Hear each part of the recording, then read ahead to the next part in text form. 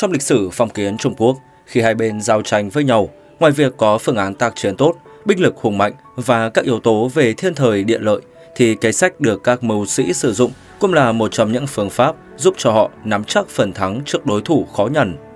Nói riêng về giai đoạn trước và trong thời kỳ Tam Quốc, có rất nhiều kế sách đã được sử dụng.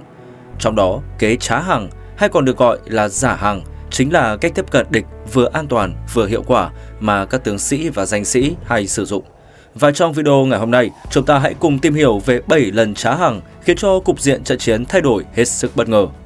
1. Tào Tháo trá hàng đồng trác Hứa Thiệu, nhà phân tích thời Đông Hán đã từng nhận định rằng Tào Tháo là năng thần thời trị, là gian hùng thời loạn. Quả thật là như vậy. Ngay khi vừa bước chân vào trốn quan trường, Tào Tháo đã là một thần tử vô cùng năng nổ, tích cực, không lo ngại việc bị giáng chức để dâng sớ tấu trình điều hành, bảo vệ người ngay, ngăn cản kẻ xấu. Nhưng đáng tiếc, triều đình không nghe và vẫn tiếp tục tin dùng hoạn quan.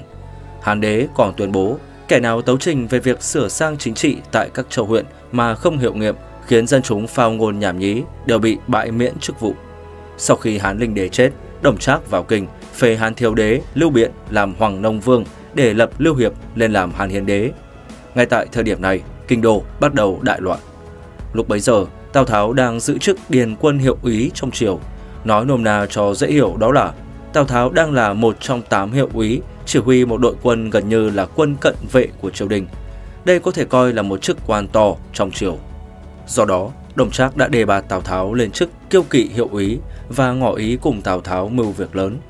Tuy nhiên, do Tào Tháo thấy cảnh Đồng Trác lộng quyền và coi chuyện phế lập hoàng đế như một trò đùa nên vô cùng cảm phẫn. Nhưng ngoài mặt, Tào Tháo không hề tỏ ý chống đối gì với Đồng Trác.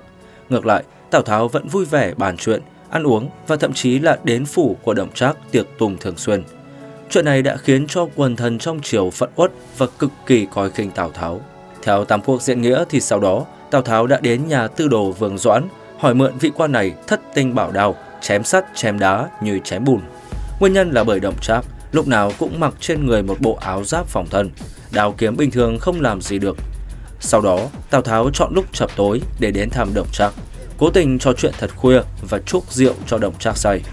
Sau đó, Tào Tháo hành thích Đồng Trác thất bại, liền nghĩ ra kế tặng thanh bảo đao này cho Đồng Trác rồi chạy thoát thân.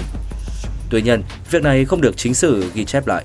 Các tài liệu lịch sử chỉ nói rằng Tào Tháo muốn giết Đồng Trác, nhưng giữa chừng thì kế hoạch bị bại lộ nên phải bỏ trốn khỏi Lạc Dương. Nhưng dù cho mọi chuyện có diễn biến như thế nào, thì đây có thể coi là màn trá hàng chỉ thành công được một nửa. Tuy nhiên, đã có hai biến chuyển lớn xảy ra sau sự kiện này. Một là hành động của Tào Tháo đã được mọi người khắp nơi hưởng ứng, tung hô người ta bắt đầu chuyển từ trạng thái khuất phục Đồng Trác sang nổi dậy phản kháng. Các lộ chư hầu bắt đầu hăng hái thảo phạt Đồng Trác để khôi phục nhà Hán.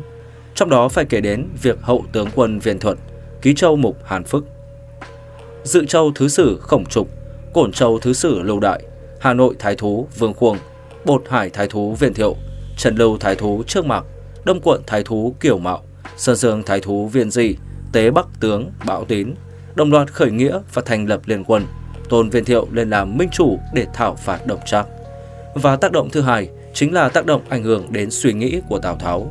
Sau khi chứng kiến cảnh Đồng Trác nắm giữ thiên tử, ra lệnh cho chư hầu và văn võ bá quan trong triều, trong đầu vị năng thần này đã hình thành nên một ý nghĩ mới.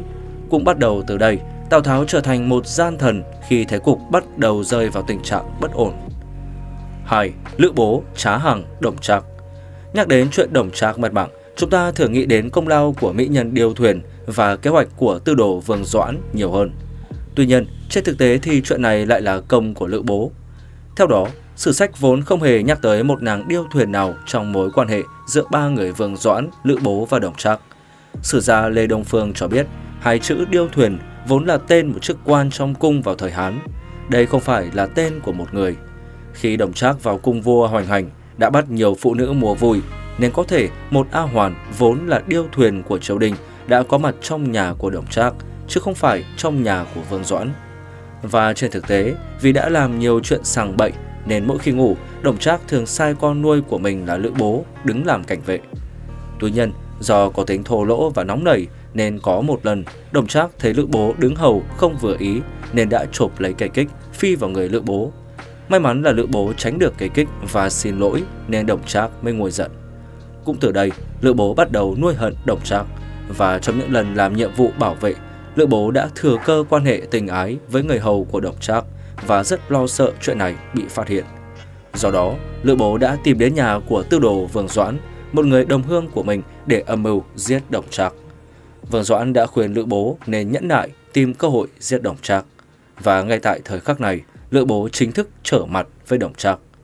Mãi đến tháng 4 âm lịch năm 192, nhân dịp Đồng Trác vào cùng yết kiến vua, Lữ Bố đã lệnh cho Lý Túc phục sẵn võ sĩ ở cửa Bắc Dịch, còn bản thân vẫn theo hộ vệ Đồng Trác như thường lệ. Khi Đồng Trác vừa bước lên xe, con ngựa đã lồng lên hất Đồng Trác ngã xuống đất, khiến quần áo ông lấm bẩn hết. Đồng Trác trở về nhà thay quần áo và lại lên xe vào cung. Khi Đồng Trác vừa bước vào cửa, Lý Túc đã đâm Đồng Trác một nhát, nhưng do Đồng Trác mặc áo giáp nên chỉ bị thương và ngã ra đất. Ngay lập tức, Đồng Trác gọi Lữ Bố lại hộ giá. Tức thì, Lữ Bố chạy thẳng tới đâm Đồng Trác. Đồng Trác hưởng thọ 61 tuổi. Ngay khi tin Đồng Trác bị giết truyền ra ngoài thành, mọi người đều vui mừng, gieo hò, cả hát. Xác Đồng Trác bị bêu ở chợ, mỡ chảy đầy đường. Nhân dân lấy bấc cắm vào rốn châm lửa cho cháy làm đèn mấy ngày mới tắt. Sau đó, thuộc hạ của viên thiệu ở Trường An mang xác Đồng Trác đi đốt thành tro, rồi cho gió thổi bay khắp đường đi. Có thể thấy, nhờ vào sự trở mặt của Lữ Bố mà dân chúng và triều đình mới thoát khỏi cái nạn độc trác. 3. Trương Tú, Trá Hằng, Tào Tháo Học giả Dịch Trung Thiên nhận định Tào Tháo vừa thông minh tuyệt đỉnh, vừa ngu ngốc vô cùng.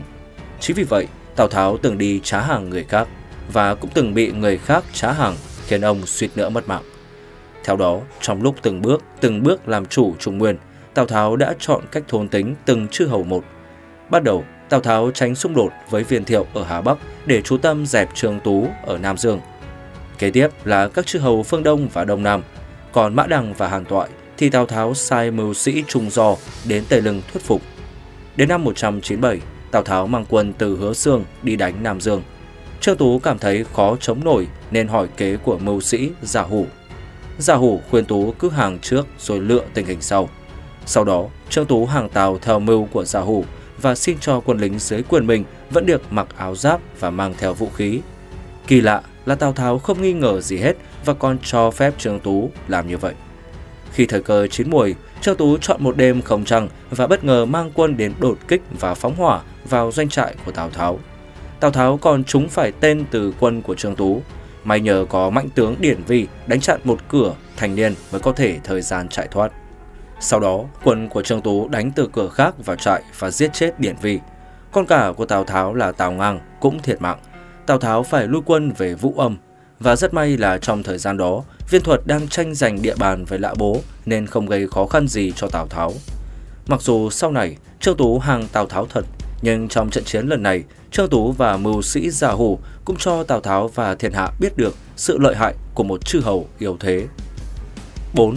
Hoàng Cái, Trá Hàng, Tào Tháo Sau khi ổn định được đa số chư hầu ở miền Bắc, năm 208, Tào Tháo kéo đại quân xuống chinh phạt miền Nam theo đúng kế hoạch. Sau khi đánh chiếm Kinh Châu, Tào Tháo tiến sang Giang Đông. Nhưng do bệnh dịch lây lan và quân phương Bắc không quen thủy chiến, Tào Tháo đã khóa các chiến thuyền lại với nhau để chờ sang mùa xuân tiếp tục tấn công. Nhân cơ hội này, đại tướng của Đông Ngô là Hoàng Cái đã hiến cho đại đô đốc Chu Du một kế. Chu Du nghe theo Hoàng Cái, sai người đưa thư trá hàng cho Tào Tháo. Tào Tháo lại tin là thật và đợi ngày Hoàng Cái sang hàng Tào.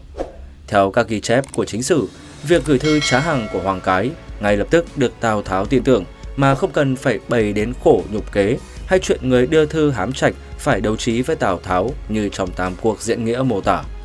Sau khi trá hàng thuận lợi, Hoàng Cái đã chuẩn bị một đội thuyền để bơi sang đánh úp vào thủy trại của Tào Tháo.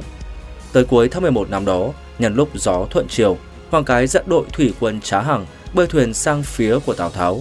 Khi đã đến giữa sông, các hỏa thuyền bắt đầu được châm lửa và chúng theo gió đông nam lao thẳng vào hạm đội của Tào Tháo. Do gió lớn và thuyền bị xích lại với nhau, các chiến thuyền của Tào Tháo nhanh chóng bắt lửa. Việc này đã khiến cho một lực lượng lớn binh mã chết cháy trên thuyền hoặc chết đuối dưới sông. Sau đó, liên quân Tôn Lưu do Chu Du dẫn đầu đã chiếm lĩnh trận địa và chia cắt lực lượng của Tào Tháo, buộc Tào Tháo phải ra lệnh rút lui. Sau khi thoát nạn, Tào Tháo phải bỏ miền Nam để rút về nghiệp quận. chỉ để lại Tào Hồng và Tào Nhân chấn giữ Giang Lăng, Nhạc Tiến, chấn giữ Tường Dương và Mãn Sủng chấn giữ Đường Dương. Và thất bại này đã khiến cho Tào Tháo không bao giờ dám mở rộng lãnh thổ ở phương Nam nữa. Đồng thời, kết cục của trận chiến này cũng tạo cơ sở ban đầu cho việc ba thiên hạ và việc hình thành hai nước Thục Hán và Đông Ngô sau này.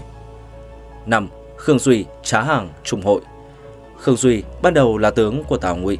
Sau lần bắc phạt thứ nhất, ông đã đầu hàng phe Thục Hán và phục vụ dưới quyền Gia Cát Lượng.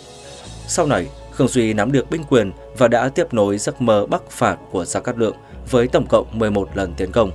Trong đó có hai lần đại thắng, 3 lần tiểu thắng, 4 lần cầm cự, một lần tiểu bại và một lần đại bại. Khi chính quyền Tào Ngụy có biến động, Tư Mã Chiêu đã tiến hành phạt thục và kết quả là Gia Cát Chiêm chết. Lưu Thiện đã đầu hàng và ra lệnh cho Khương Duy đầu hàng theo. Sau đó, Khương Duy đành phải dẫn quân hàng Trung Hội. Trung Hội lúc đó đã hỏi Khương Duy, sao ông đến muộn vậy? Khương Duy bảo, như thế này là quá nhanh chứ không phải chậm. Trung Hội rất kính trọng Khương Duy, cho ông tiếp tục thống lĩnh quân đội của mình. Nhưng thực chất lần này, Khương Duy chỉ giả vờ ra hàng Trung Hội để chờ thời cơ phục thù. Sau đó, Khương Duy đã tìm cách chiếm được lòng tin của Trung Hội. Kể từ đó, Trung Hội ngồi đàm đạo suốt ngày không biết chán với Khương Duy. Hai người còn đi cùng xe, ngủ cùng giường, ăn cùng mâm với nhau. Sau đó, Khương Duy lấy gương Hàn Tín bị Lưu Bang giết năm xưa để kích động Trung Hội làm phản trước khi bị Từ Mã Triều diệt trừ. Trung Hội nghe thuận tai nên định làm theo. Tuy nhiên, các tướng ngụy dưới quyền Trung Hội lại không đồng thuận. Trung Hội đã lập tức bắt giam tất cả lại. Sau đó, Trung Hội vu cáo hãm hại Đặng Ngải, rồi về thành đô để lĩnh chức Ích Châu Mục, chuẩn bị khởi binh tạo phản.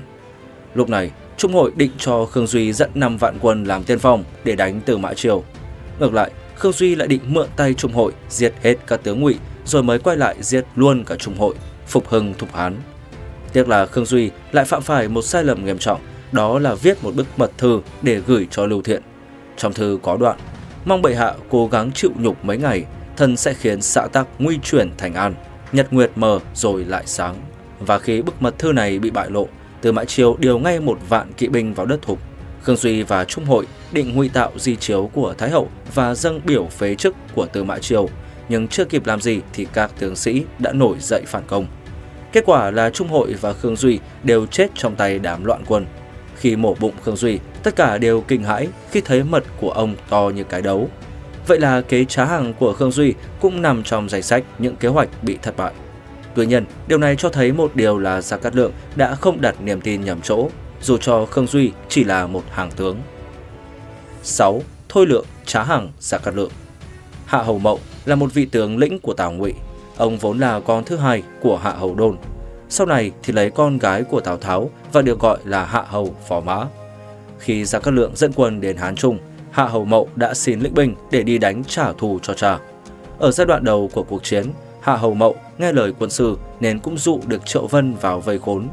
Tuy nhiên, sau đó Triệu Vân được giải cứu và quân của Hạ Hầu Mậu bị đánh bại nhiều lần. Bản thân Hạ Hầu Mậu phải trốn ra Nam An. Tuy nhiên, do Nam An thành cao hào sâu nên Triệu Vân, Đặng Trì, Quan Hưng, Trương Bảo đánh mấy ngày liền chưa hạ được thành. Khổng Minh liền hỏi thái thú của quận Thiên Thủy và quận An Định là ai. Sau khi biết được danh tính của họ lần lượt là Mã Tuân và Thôi Lượng, Gia Cát Lượng liền nảy ra một kế. Sau đó, Thôi Lượng nhận được một tin từ tướng Tầm Phúc dưới trướng Hạ Hầu Mậu. Đại ý là muốn thái thú của hai quân Thiên Thủy và An Định đem quân đến làm ngoại ứng để cứu nguy. Và thái thú của Thiên Thủy đã cất quân đi rồi. Thôi Lượng tuy không muốn đi, nhưng không còn cách nào khác, đành phải đi cứu cho xong. Sau đó, Thôi Lượng gặp được Gia Cát Lượng trên đường. Sau khi không còn đường thoát, Thôi Lượng mới chịu đầu hàng. Tuy nhiên, đây cũng chỉ là kế bất đắc dĩ của Thôi Lượng, bởi ông vẫn tìm thời cơ để thoát đi.